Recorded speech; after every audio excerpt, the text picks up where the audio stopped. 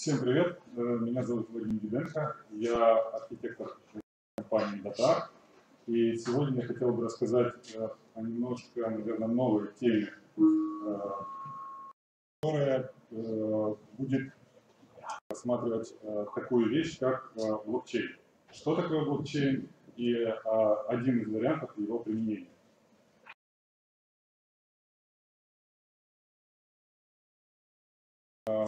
У меня будет э, три темы. Э, Первая – это реализация кастодиального криптосервиса на э, AWS. Э, После этого немножко затронем построение криптосервиса э, с мультиподписью. И последнее – это преимущества и недостатки облачных сервисов при реализации криптосервиса. Вначале, для того, чтобы как бы, объяснить, зачем и что мы делали, хотелось бы рассказать и что такое на самом деле блокчейн, в каких э, случаях его используют. Вот. И э, в большинстве случаев, когда э, спрашиваешь у кого-нибудь, э, что такое блокчейн, кстати, кто-нибудь знает, кто из присутствующих знает вообще, что это такое? Я думаю, на самом деле больше остальных просто Чаще всего э, все говорят, э, блокчейн это, ну что такое блокчейн? Это биткоин. А биткоин это что такое? Криптовалюта. А, там, а почем он сейчас? Ну там 20 тысяч. Окей, как бы, сейчас куплю. Там, вчера он стал 3 тысячи, все говорят, ну, опять какой-то мыльный пузырь, МММ, вчера купили по 20, сегодня продали по 3, потеряли кучу денег. Это какая-то ерунда. То есть это ничего интересного, ничего нового не приносит, Просто еще один МММ, и вроде даже Мавроди засветился в, одном из, в одной из реализаций блокчейна. Ну, он везде. Итак, что же такое блокчейн на самом деле? Блокчейн можно представить э, в большинстве случаев как э, базу данных. То есть это какое-то хранилище информации, в которую можно записать какую-то информацию и ее оттуда считать. Э, но э, на самом деле блокчейн приносит немножко большее, чем просто хранение данных. Блокчейн э, позволяет э, с помощью программных контроллеров обеспечить неизменяемость информации. То есть это говорит о том, что вы, если что-то записываете, какую-то информацию, и после этого э, все остальные участники сети подтвердили, что действительно запись валидна, после этого эти данные не могут быть изменены. Одно из таких самых, наверное, распространенных реализаций блокчейна является биткоин. И э, ну, в последнее время, наверное, тоже потихоньку набирающие обороты, это реализация эфириума. Э, в чем суть? Э, биткоин от эфириума, они достаточно кардинально отличаются. Биткоин – это не полный по Тьюрингу механизм, то есть он по факту имеет достаточно ограниченное количество а, операций, которые он может выполнять. То есть он на самом деле просто как, используется как хранилище информации о транзакциях, которые э, создают э, пользователи этой системы э, при передаче криптовалюты из одной точки в другую, от одного получателя к другому. Ethereum в этом плане пошел немножко дальше и позволил описывать такие вещи, как смарт-контракты которые позволяют нам выполнять э, уже какую-то кастомную логику на уровне блокчейна. И при этом э, не беспокоиться о том, что как-то эти контракты могут неправильно трактоваться. То есть, если контракт э, был, попал в блокчейн, и после этого вы смогли на самом деле даже его спокойно прочитать, сам этот контракт, он доступен достаточно спокойно, можно его найти, посмотреть, какие инструкции выполняются, если вы работаете с этим контрактом, вы можете быть уверены в том, что э, никто после того, как вы сохраните информацию в блокчейне, когда вы используете этот контракт, никто не сможет ее подменить. Э, одним из недостатков таких систем является на данный момент то, что они требуют достаточно большого места для хранения всей информации. Потому что э, э, сама сеть э, рассчитывает на то, что никто никому не доверяет. Каждый участник сети, который новый подключается, он должен будет получить всю информацию по всех э, предыдущих э, блоках, провалидировать, убедиться, что действительно эта информация не сфальсифицирована, и только после этого он становится, ну, скажем, это называется полной нодой, которая э, также может производить какие-то операции в сети. Основной проблемой является э, достаточно большое количество места, необходимое для хранения этой информации. Там что-то сейчас у биткоина это около там, 300 гигабайт, у Этериума около 150. Э, это достаточно много, учитывая, что это достаточно э, такая, ну, новый блокчейн, и э, основной объем накопился буквально за последние 3-4 года. Можно сказать примерно, ну, если подсчитывать то, с какой, с какой скоростью набирается объем памяти необходимый, в течение там, года это будет терабайт, если активно все будет использовать через там, 10 лет, ну, в принципе, использовать где-то в домашних условиях его вообще будет невозможно.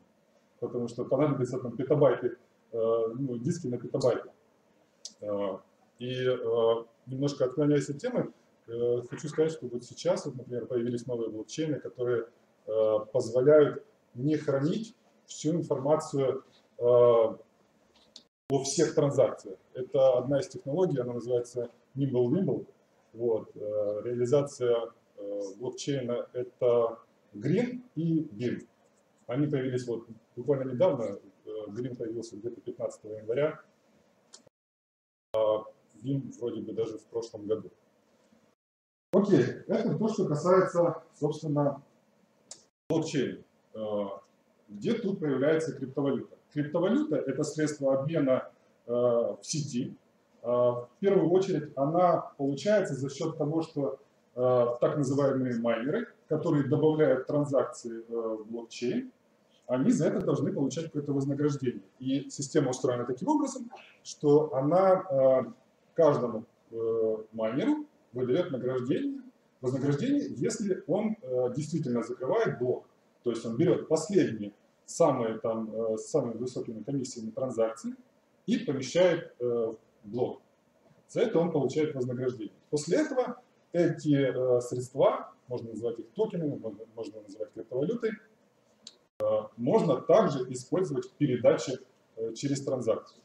Э, биткоин от эфира отличается немножко по, реализации э, за счет того, что э, в биткоине вы можете передавать в рамках одной транзакции от n количества отправителей n количеству получателей. То есть вы можете там с 10 адресов да, э, отправлять там на 20 адресов криптовалюту, вот. А э, у Ethereum немножко сложнее, ну, с другой стороны, может быть, даже к лучшему, э, в рамках одной транзакции производится только один перевод. Отправитель, получатель. Э, других вариантов быть не может. Причем у Ethereum вы можете отправить, например, у вас там есть 100 эфира, вы можете отправить 0.1, и при этом как бы, ну, то есть это все происходит одной транзакцией, и здесь все ясно и понятно. У биткоина Э, средства, которые попадают к вам на счет, они должны тратиться полностью. Это о чем говорит? Это говорит о том, что если к вам пришло 100 биткоинов, вы должны 100 биткоинов потратить. Возникает вопрос, а как же так? Ну, то есть, если я хочу потратить из 100 биткоинов, например, а, один биткоин, что мне делать? А, в биткоине это реализовано каким способом?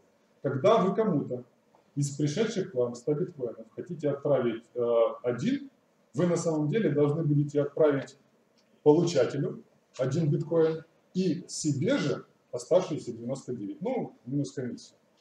И таким образом, когда закрывается транзакция, если она валидна и все ее подтверждают, вы получаете 99, это опять не истраченный тот вход, который вы можете потратить, клиент получает единицу.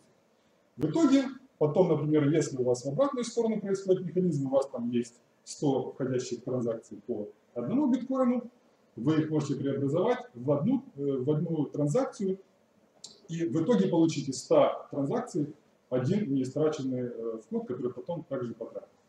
Это немножко из вот, ну, э, того, как устроен сам блокчейн. Итак, криптовалюта теперь понятно, что такое. Теперь хотел бы рассказать о применении, собственно, его и о том, что мы делали. На данный момент, э, а, забыл да, рассказать, что на самом деле как бы там не только в финтехе используется э, блокчейн, а еще есть целый ряд направлений, их достаточно много, их становится с каждым годом все больше и больше и больше.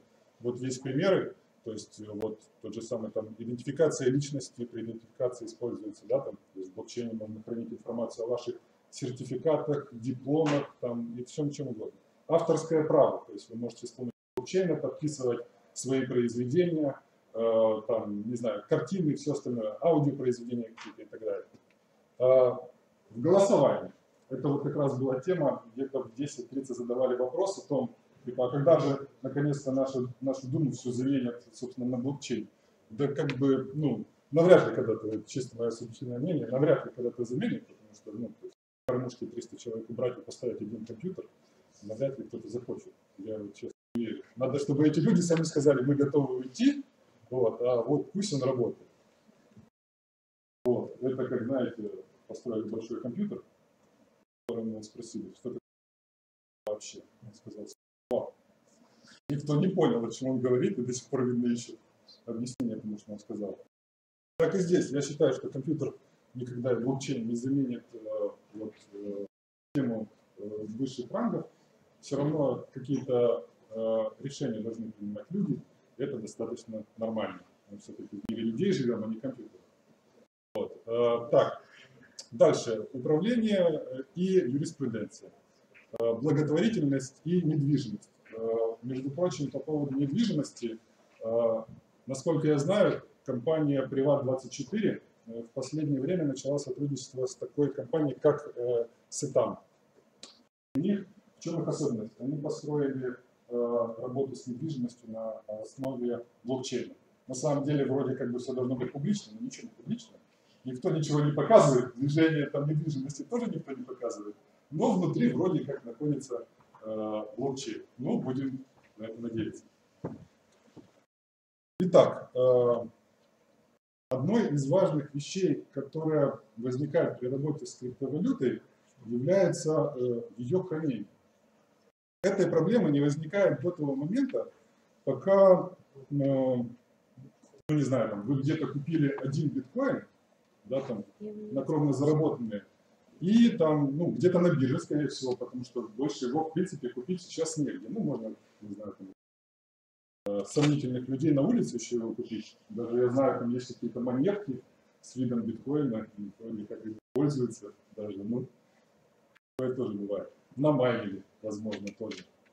Какое-то время, давным-давно, когда биткоин был там 2 доллара, вы на майнинге, или продали пиццу за тысячу биткоинов, которая тоже принципе, или 10 тысяч, уже не помню. Итак, вы купили один биткоин, он лежит у вас на бирже, и все вроде бы хорошо. После этого вы как бы, ну, в идеальном мире продали его, купили еще, и у вас стало 10 биткоинов. Потом опять продали купили еще, и у вас стало их вроде бы уже 100. И вроде как бы сумма уже не маленькая по текущему курсу, там, э, один биткоин это 3 650, 640, да, Э, достаточно большие деньги. Нужно его где-то хранить. А где его можно хранить? Можно на бирже оставить, но, как мы знаем, существует достаточно много примеров бирж, которые вроде работал, вроде работала, какая-нибудь чаще всего это китайская, или наверное, на Мальте находится, 100% на Мальте в основном, потому что там законодательство очень хорошее в этом плане. Итак, э, у вас лежит там 100 биткоинов на какой-то китайской или мальтийской бирже, она закрывается. Но слава богу, что если это не ваше, а из новостей вы узнали о какой-то соседней. И что вы начинаете думать? Первое, о чем вы думаете, где же можно хранить эту крипту? Первый, самый простой вариант, э, это завести у себя где-то локально э, кошелек. И после этого э, перевести на него деньги, все, всю эту крипту, и хранить там. В этом случае у вас есть два варианта. В первом случае вы можете просто, да, у себя там, не знаю, целый жесткий диск завести или э, выделить прямо под этот компьютер. Ну, 100 биткоинов, в принципе, можно купить. Можете купить себе отдельный компьютер, поставить его и на нем, э, собственно, создать кошелек, подключить к интернету, завести на него крипту. Ну, в принципе, можно даже, в принципе, не подключать к интернету. В блокчейне можно, в принципе, это делать в офлайне. Переводите крипту, Выключаете и включаете только тогда, когда вам нужно купить, например, холодильник за биткоин. Сейчас это, кстати, тоже возможно. Вот. Есть примеры из практики. Да. Э, в общем. Э, итак. Следующий вариант, который вы можете использовать, если вы совсем не доверяете даже компьютеру, потому что, может быть, ваша жена или ваш сын тоже имеет к этой комнате доступ, и он знает ваш пароль если он знает от Фейсбука, скорее всего, он знает пароль от вашего э, кошелька, чаще всего люди не особо оригинальные. Итак, вы боитесь, что вы делаете? Вы берете такую вещь, как приватные ключи, то есть те ключи, которые необходимы для подписания транзакции, распечатываете на бумажку, э, берете банку, сворачиваете в трубочку, запечатываете и закапываете где-то. Можете быть спокойны, в принципе, будет нормально работает. Эта система работает, все в порядке. Не у меня. Ну, я знаю, есть люди, которые пользуются такими вариантами. Итак, то есть есть несколько вариантов. Первый, в бумажном виде можете э, хранить. Второй вид, это прямо на компьютере хранить. Третье, есть дополнительные э, э, хардверные устройства, которые позволяют хранить э, какую-то крипту на них. Точнее, приватные ключи. То есть на самом деле вам вы ничего, никакую крипту себя не храните, вы храните приватные ключи. Это э, хардверное устройство по типу Ledger Nano, Trezor, и там еще их несколько есть, но чаще всего, вот в последнее время, я сколько смотрю, э, очень часто в них появляются какие-то уязвимости. Причем э, одной из проблем такой является то, что, первое, к нам вообще не приезжают эти э, устройства, потому что на Украину их просто не пускают, потому что это средство шифрования, и, соответственно, они через таможню просто не могут перейти. Второе, что эти устройства, продаваемые в Китае, часто бывают э, в них бывают часто инжектированы разного рода вирусы. То есть вы вроде вы покупаете так нехило дорогое устройство, которое стоит там в среднем около 100 долларов, покупаете, переводите на него крипту, вроде все хорошо, начинаете расплачиваться, и вы видите, что ваши средства уходят не на адрес А, а они уходят на адрес Б, о котором вы ничего не знаете, после этого вы прощаетесь со своими средствами. Итак, ну, даже представим, что если вы купили нормальное устройство, сохранили на нем всю крипту, все нормально, можете быть спокойны. Но здесь возникает одна проблема. Это устройство может быть ненадежным. Может поломаться, может сгореть или еще что-нибудь. В этом случае бывает использовать такие штуки, э, как э, железные таблички. Как вот, ну, такие вот прям, они такие достаточно большие. И э, вы преобразуете приватные ключи в такую вещь, которая называется седами, это фраза. Какая-то фраза, на основании которой вы потом можете восстановить приватный ключ. Вы берете эту табличку и на ней, собственно, создаете этот сид. После этого вы берете эту табличку железную, она уже не сгорит, как бы вы помещаете ее там в сейф или тоже в банку и закапываете. Можете без банка. Итак, но это тоже не очень хороший вариант, потому что Представьте, каждый раз, когда вроде бы да, там мир становится более прогрессивным, и вам э, приходится как-то рассчитываться этим биткоином, вы что, просто их там сохранили и там внукам просто передадите эту баночку или это устройство.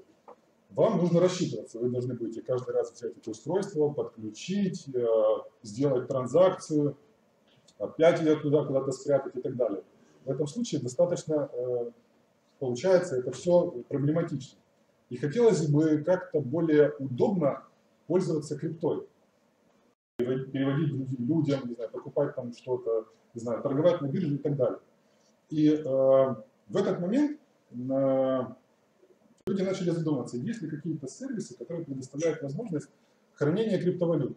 Ну, в простом классическом да, там, э, мире, э, в простых там, классических финансах существует, существует такая вещь, как э, кастодия, кастодиальные сервисы это их еще называют депозитарием. То есть это сервис, который предоставляет возможность хранения ваших ценных бумаг и управления ими от вашего имени. Плюс они поддерживают клиринги, э, там, аудиты и так далее. Э, но так как криптовалюта не является э, классическим средством, да, там, классическим какой-то ценной бумагой или просто даже деньгами, средством расчета, на самом деле, то есть законодательно такие кастодиальные сервисы с криптовалютой не работают. Но на самом деле на данный момент э, ну, э, есть факты того, что кастодиальные сервисы классические э, достаточно сильно пытаются понять саму технологию блокчейна и того, как же можно все-таки хранить средства в виде криптовалюты. Но для того, чтобы хранить криптовалюту, необходимо в классическом да, там, кастодиане, кастодиан должен Э, э, все средства, которые к нему приходят, поддавать аудиту. Он должен понимать, от кого эти средства пришли, кому они уйдут, кто эти средства у себя хранит и так далее, у них хранит и так далее. Это значит, что та парадигма блокчейна, которая говорит о том, что все должно быть анонимно, она в данном случае не работает. То есть, если вы хотите э, в классическом мире работать с криптовалютой, вам нужно становиться публичным. То есть вы должны будете явно сказать, что вот адрес, с которого мне пришли средства, это мне известный человек, и вот там его документы, которые проходят там а, аудит, да, там и так далее, с помощью тех же сервисов KYC, Know Your Customer и так далее. Вот. А это вот мои кошельки, и они предназначены для хранения именно моей криптовалюты. И тут возникает проблема, что не все люди хотят на самом деле делать. И э, Поэтому этот процесс достаточно э, трудно идет. Итак, э, для криптовалюты э, начали появляться своеобразные тоже кастодианы, криптокастодианы. Существует на данный момент несколько достаточно известных компаний, которые пытаются реализовать у себя тот же самый кастодиан, но он позволяет ну, достаточно такой по простой схеме зарегистрировать аккаунт и хранить там средства. Причем хранить э, по принципу э, мультиподписи. То есть вы не все отдаете э, этому сервису кастодиану, а какая-то часть ключей для управления остается у вас. Вот. Одним из таких, таких сервисов знаменитых это Coinbase, это Digital Asset Custody Company, BitGo и Kingdom Trust. Кстати, э, BitGo это одна из э, тех компаний, которая стояла у истоков биткоина, и она э, разработала, собственно, мультиподпись. Вот. И они у себя в компании как раз и поддерживали эту, этот сервис. Итак, что же такое кастодиальный сервис? Это хранилище криптовалюты, криптовалютных активов, это сервис, обеспечивающий безопасность за счет разделения э, системы на несколько уровней. И это э, он обеспечивает, соответственно, э, учет тех средств движения по счетам. Тут один важный момент, что чаще всего люди, когда сталкиваются с блокчейном, как я и говорил, они считают, что это база, база данных. То есть у вас есть какой-то адрес, там, вы на него переводите средства, и вроде как бы, ну, для того, чтобы узнать, какой у вас баланс, вам достаточно просто сказать блокчейн, дай мне по этому адресу баланс. Не вы. А, для того, чтобы понять, какой у вас баланс на счету, вам нужно прочитать всю историю блокчейна и найти те транзакции, которые были отправлены на этот публичный адрес, который под собой скрывает публичный ключ, который строится на приватном ключе, который мы, собственно, и храним. Вот. И тут достаточно сложная схема получается, потому что кастодиальный сервис э, для криптовалюты, первое, он должен, да, действительно обеспечивать безопасность, но кроме этого он должен постоянно отслеживать состояние блокчейна. То есть вы не следите за каким-то отдельным кошельком, вы следите за состоянием блокчейна. Вот. Итак, э, в нашей реализации мы развивали систему на 5 разных э, уровней по безопасности. Первый публичный – это тот уровень, на котором мы взаимодействовали с разными частными лицами и бизнесами. Ну, вы же понимаете, что с валютой э, работают э, не обязательно только там конкретные там люди, какие-то да, частные лица. Есть компании, которые, например, там обменники, биржи, не знаю, там, вот те же самые там институционалы, которые тоже хотят как-то входить в этот мир они тоже э, имеют доступ к нашему сервису, мы с ними работаем. На этом уровне публичном находятся как раз вот наши микросервисы, э, предоставляющие API. То есть они не представляют из себя ничего. Получая доступ к ним, вы особо ничего сделать не можете. Вы можете получить какую-то информацию, но чаще всего, конечно же, там все это закрыто э, там, HTTPS, закрыто какими-то э, паролями, логинами и так далее. На втором уровне мы разместили э, такие сервисы, которые предоставляют более явное понимание, с кем мы работаем, и э, на этом уровне находится достаточно уже такой ну, функционал, э, подверженный безопасности, потому что уязвимости точнее, потому что, например, та же информация о клиентах, которую мы храним у себя, она э, не должна попасть э, к там, ну, людям, которые не должны ее, этой информацией обладать. Поэтому на этом уровне у нас работала, э, работал сервис отдельный э, MFA, это двухфакторная авторизация. Это уже, собственно, сам сервис э, работы с клиентом. На этом уровне у нас была регистрация компаний, частных лиц, система переводов, ну, учета транзакций и так далее. На следующем, на, на втором уровне с точки зрения уже более серьезной защиты, располагалось горячее хранилище. Что такое горячее хранилище? Ну, надо тогда подумать, а какое еще тогда бывает? Ну, наверное, тогда если горячее, то холодное еще есть. Да, есть еще холодное хранилище. Чем они отличаются? Горячее хранилище – это достаточно небезопасная, э, небезопасный сервис с точки зрения того, что если к нему получат доступ, мы не должны потерять все средства сразу. То есть, ну да, ну потеряем, но потеряем немного. То есть мы разбили систему на два отдельных уровня. На первом уровне находилось у нас горячее хранилище, в котором хранилось э, средств достаточно только для суточного обеспечения э, запросов клиентов. Ну, то есть если мы знаем, например, что клиенты в основном э, в день там выводят там, 10 биткоинов, то держать тысячу ну, бессмысленно. В случае там, да, там какой-то неполадки или какого-то сбоя или там компрометации данных мы потеряем все. А, так мы говорим, ну да, можем потерять. Потеряем 10. Из этого мы сделаем выводы, переделаем, перепишем нашу систему и как бы в следующий раз не потеряем. Вот. А, то есть это было такое оперативное хранилище, мы еще его называли. А, соответственно, на нем же э, мы не располагали, э, не размещали никакой информации о приватных ключах наших клиентов, от их кошельков и от наших системных кошельков. То есть это было отдельное хранилище, за которое там отвечал HSM, о котором я расскажу чуть позже. Итак, э, в горячем хранилище мы держали кошельки клиентов, на которые клиенты заводили э, свои средства. Но, э, как вы понимаете, очень важный момент – это то, что когда клиент приходит к вам, например, там, с 10 эфира или биткоинами, Э, то э, мы не, мы не должны хранить это на этих же кошельках. Это связано с тем, что клиент, например, может попросить, э, мы с клиента, во-первых, снимаем какую-то комиссию, а, соответственно, у него на счету становится постепенно немного меньше средств. И для того, чтобы оперативно обслуживать всех остальных и отдавать им достаточно большие суммы, мы все средства с кошельков клиентов перекидывали на один цельный оперативный кошелек и с него уже производились все расчеты. То есть все клиентские кошельки, они являются просто трансферными такими. Заводишь на них средства, эти средства сразу переходят в горячее хранилище, на отдельные кошельки.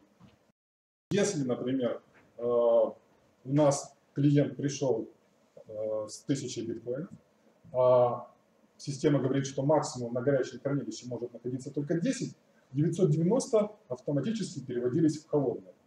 Вот. Для этого никаких подтверждений не надо, каждый клиент сам, в принципе, перевести на холодное, ну, потерял бы, бы, но они у нас остались. Мы не можем отслеживать э, факт попадания к нам каких-то средств, потому что ну, система так устроена. Это де-факто. Тебе пришли средства, ты их должен, как бы, ну, они у тебя есть. Что с ними дальше делать, это уже отдельная история. Итак, отдельные кошельки клиентов мы еще использовали для того, чтобы понять, от кого конкретно пришли средства. То есть если бы мы держали один оперативный кошелек, а на них приходили все, ну, все, вся криптовалюта, то здесь непонятно, от кого же они пришли. А так мы четко понимаем, каждому клиенту выдали его уникальный идентификатор в сети э, блокчейна, на него попали средства. Вот. Э, это нам позволяло очень гибко работать и э, понимать, с кем мы работаем. Тут немножко хотелось бы сказать о том, как, работать с тем, как мы работали с теми же самыми токенами на основании эфира. То есть вы знаете, что есть такая вещь, как смарт-контракты на Ethereum, и по факту они представляют из себя тоже какую-то валюту.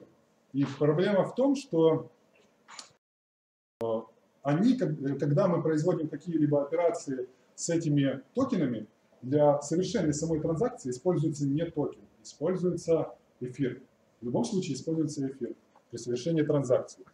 Поэтому, когда клиенты приходили и говорили к нам, а как же мы будем там типа заводить к вам токены, как же вы их дальше будете прокидывать на адреса, мы придумали такую вещь, ну, наверное, может быть, даже не придумали, может, где-то ее увидели. А, мы клиенту создавали, на самом деле, выдавали не просто кошелек, а такой же самый контракт, только который говорил о том, что когда на него попадают средства, автоматически они должны переводиться на наш горячий кошелек. Но так как контракты сами по себе, они создаются от имени какого-то владельца, от какого-то кошелька, то наш оперативный кошелек являлся, собственно, э, владельцем этого смарт-контракта.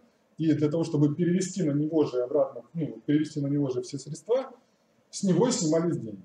То есть такой себе лайфхак, который позволял нам и для контрактов использовать тот же самый механизм.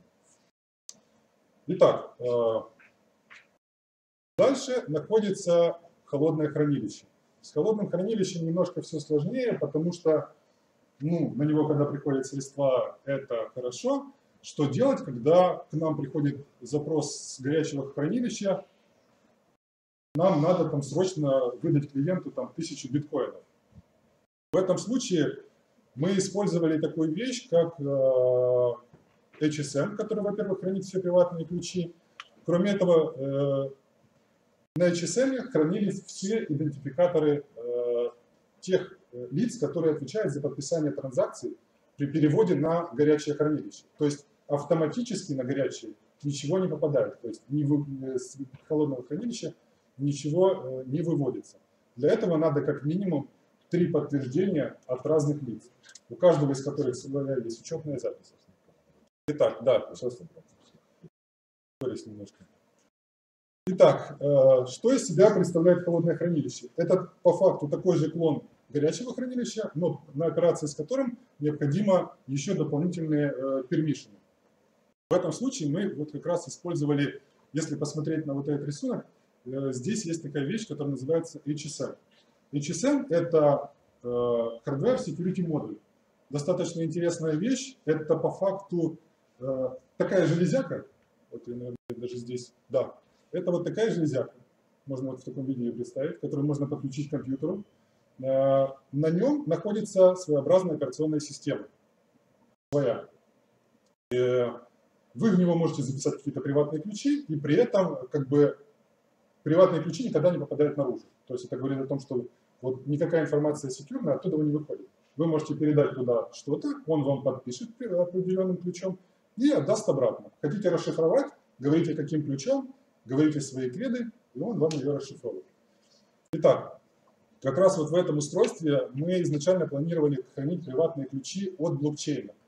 Э, но так как мы использовали Cloud, тот же самый, э, который у меня в докладе присутствует AWS, которого здесь не так много, э, мы использовали такую вещь, как Cloud HSM. Достаточно интересная штука, которая позволяет не саппортить у вас локально где-то на машине вот такую вот железяку, потому что это достаточно проблематично, и он достаточно дорогой.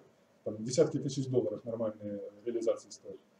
Э, мы использовали Cloud HSM, который, во-первых, позволяет, э, во-первых, отказоустойчивость организовать, во-вторых, он э, кластеризуется, то есть вы можете развернуть на n количестве availability зон этот кластер HSM, они между собой, соответственно, клонируют информацию, при этом, если потеряется какая-то зона, на второй вы работаете абсолютно спокойно.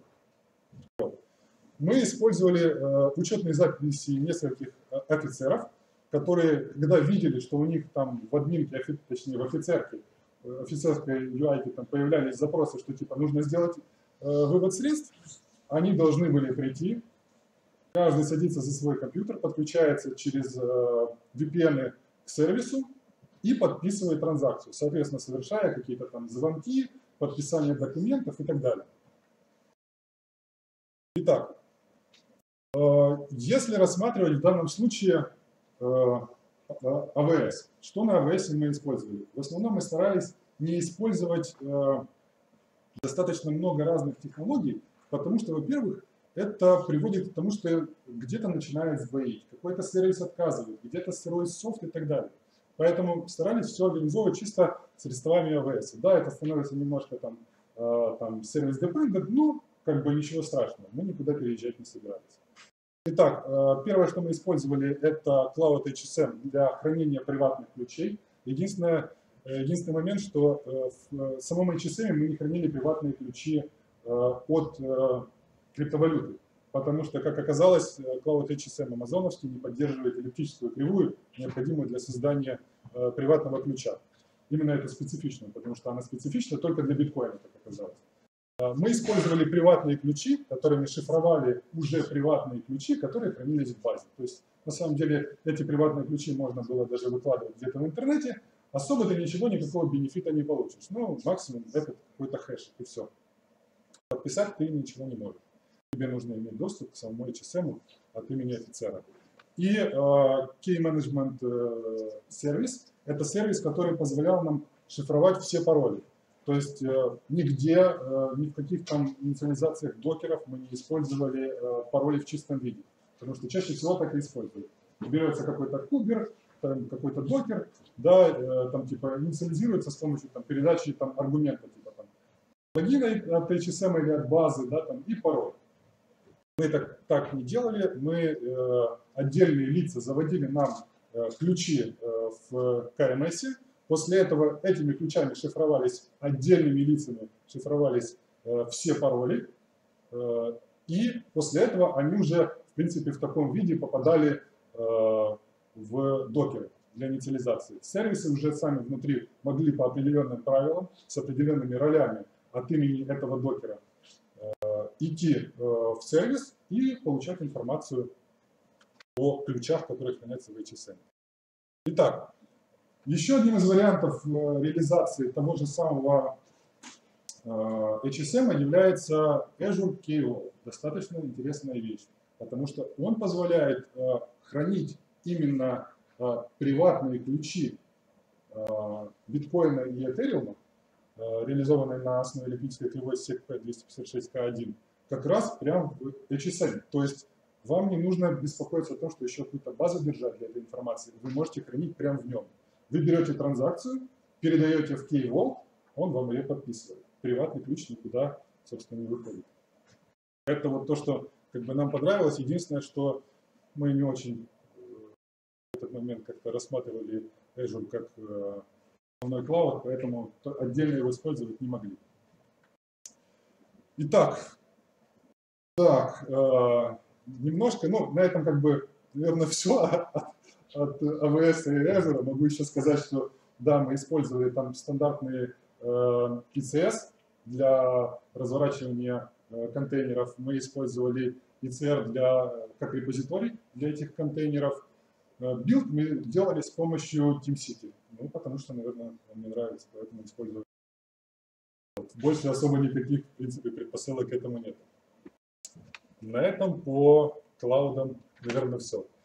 Вот. Э, следующий момент, это хотелось бы рассказать о том, как э, к нам пришел клиент, он говорит, мы достаточно серьезная организация, мы хотим сделать э, типа кастодиана, но мы вам не доверяем. И мы сами себе не доверяем. Ну, то есть, вот есть, например, такой, э, такой случай, совсем недавно был, когда э, люди организовали биржу, начали там ну, торговать на ней, у них там что-то около 180 миллионов долларов, в принципе, капитала образовалось, а потом хозяин умер. А у него были ключи. Все. Как бы, ни у кого ничего не осталось. Такая вот печаль. Ну, жалко человека, но при этом пострадало еще очень много людей, до сих пор не могут найти.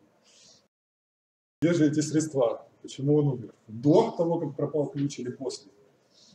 Итак, пришел к нам такой э, один из заказчиков и говорит, мы хотим работать с клиентами, нам нужен кастодиан, но при этом, чтобы каждый отвечал за какую-то определенную роль. И мы предложили такой вариант. Давайте использовать э, мультиподпись. Э, это что обозначает? Это обозначает, что любая транзакция на уровне блокчейна подписывается не одним человеком, а группой лиц. Да, э, вот. Э, каким способом мы предложили это реализовать? Мы э, предложили, например, давайте представим, что э, каждому из участников, каждый из участников э, подписания транзакции мы скажем, дайте, сгенерируйте свои личные приватные ключи. То есть приватные ключи мы у них не берем. Они нам абсолютно не нужны. И когда э, вы захотите создать вот такой вот адрес, на который будут приходить средства, которые нужно будет подписывать несколькими э, приватными ключами, вы даете нам публичный ключ от этого приватного. Мы на основании этого публичного ключа, составив их всех вместе, создаем один публичный адрес, и на него, когда приходят средства, ну, как бы они приходят. А вот когда вы хотите рассчитаться с кем-то, то, соответственно, вам придется каждому отдать эту транзакцию, которую каждый по очереди подпишет, и только после этого она попадает в блокчейн. При реализации на, э, есть э, несколько разных реализаций. Для биткоина э, есть даже уже кошельки готовые под это дело, которые позволяют вам держать кошельки с мультиподписью. Это Armor, это Electrum, это CoPay, это BitGo и Coinbase. Ну, BitGo и Coinbase это больше веб-сервисы, которые позволяют работать с мультикошельками. Для Ethereum это опять же BitGo, это Gnosis, это Parity и простой локальный кошелек NIST. На Parity недавно, в прошлом году, насколько я знаю, даже было заблокировали, выполнив не ту инструкцию контракта. Такое тоже бывает. Но весь софт еще сырой. Итак, э, каким образом э, мультиподпись организовывается э, в биткоине? В биткоине это организовывается за счет того, что есть уже встроенный механизм, реализованный компанией BitGo давным-давно еще, вот, который говорит, что мы можем выполнить простую инструкцию, которая называется add multisig в которой вы должны будете передать энное количество публичных ключей. На основании этих публичных ключей будет сгенерирован публичный адрес который вы можете использовать для э, переводов и транзакций. У, у Ethereum все немножко сложнее, он достаточно крут, но вот этой вещи у него встроенной нет. В этом случае используется такая вещь, как смарт-контракт. Эти смарт-контракты, они достаточно публичные, они причем даже позволяют э, накладывать э, суточные лимиты на переводы. То есть, если вы там из компании людей э, собрали один там смарт-контракт, на котором хранится там миллион, вы при этом можете спокойно э, ограничить да, там, суточный перевод. То есть там, из миллиона ваших эфиров, конечно, если они, там, можно там, в сутки выводить только 100. Это привод банковский. Вот. Э, в заключении хотелось бы сказать, что есть свои преимущества и недостатки у облачных сервисов. Э, из преимуществ конечно, можно сказать, что есть вот те же самые HSM, которые очень сильно помогают в работе как раз вот с секьюрными данными. Но при этом большинство сервисов, я даже не знаю, Google Cloud мы не рассматривали, они не предназначены для того, чтобы достаточно гибко и удобно быстро развернуть какое-то вот э, окружение, работающее с блокчейном. Ну, то есть, чтобы вам не надо было брать, поднимать свою там ноду, Э, блокчейна, чтобы она синхронизировала 300 гигабайт, после этого вы там с ней работаете, она падает, не синхронизируется, то есть вам нужно какой-то там самописный кластер организовывать с этих сервисов, мульти, там, типа мультинодовостью это называют и так далее. Этого нет, ни в одном нет. Э, на Azure единственное, что, насколько я помню, есть у них такой сервис, как э, Azure Blockchain Workbench, достаточно интересная штука, но она больше работает с Ethereum и смарт-контрактами. Она не про то, чтобы развернуть сервис, работающий с, в принципе, там, любой из известных.